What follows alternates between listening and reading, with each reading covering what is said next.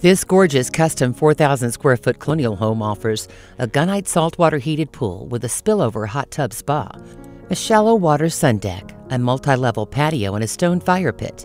There are four bedrooms, three and a half bathrooms, a walkout basement, hardwood floors on the main floor. Plus, this home is in an easy commuting location. Hear all the details when you tour with the Ward team.